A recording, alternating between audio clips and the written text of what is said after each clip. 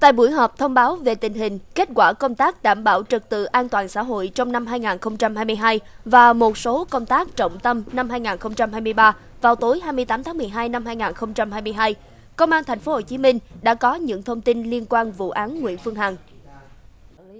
Chánh văn phòng cơ quan cảnh sát điều tra Công an thành phố Hồ Chí Minh, Thượng tá Trần Thị Kim Lý cho biết, ngoài khởi tố bắt giam bị can Nguyễn Phương Hằng thì công an đã ra quyết định khởi tố bị can, lệnh cấm đi khỏi nơi cư trú, lệnh khám xét chỗ ở và lệnh tạm hoãn xuất cảnh đối với ba bị can là đồng phạm. Cụ thể, ba bị can là đồng phạm gồm Nguyễn Thị Mai Nhi, 39 tuổi, trợ lý của Nguyễn Phương Hằng. Lê Thị Thu Hà, 30 tuổi, nhân viên công ty cổ phần Đại Nam. Huỳnh Công Tân, 28 tuổi, trưởng phòng truyền thông công ty cổ phần Đại Nam. Các bị can bị khởi tố để điều tra về hành vi lợi dụng các quyền tự do dân chủ, xâm phạm lợi ích của nhà nước, quyền lợi ích hợp pháp của tổ chức cá nhân.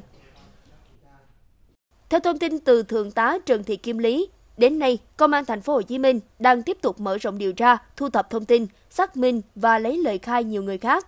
Bên cạnh đó, Công an thành phố Hồ Chí Minh tiếp tục làm rõ nhiều đơn tố cáo xoay quanh vụ án của bà Nguyễn Phương Hằng. Nếu có dấu hiệu tội phạm, sẽ xử lý nghiêm theo quy định của pháp luật.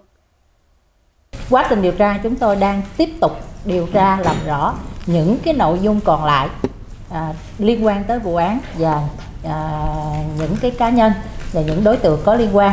Thì à, kết quả điều tra xử lý như thế nào? Chính thức thì à, chúng tôi sẽ cung cấp sau. Theo cơ quan điều tra, ba bị can gồm Nguyễn Thị Mai Nhi, Lê Thị Thu Hà và Huỳnh Công Tân đã giúp sức cho bị can Nguyễn Phương Hằng thực hiện hành vi phạm tội nhiều lần và trong thời gian dài. Ba bị can này đã tạo lập, quản lý các trang mạng xã hội, đăng tải thời gian, chủ đề livestream lên mạng xã hội, kết nối các tài khoản mạng xã hội vào Internet.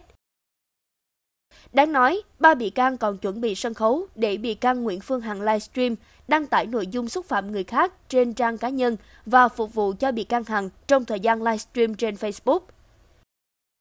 Cơ quan cảnh sát điều tra Công an thành phố Hồ Chí Minh đang làm rõ hành vi một số người liên quan để xử lý nghiêm theo quy định của pháp luật. Còn những cái thông tin đưa trên mạng xã hội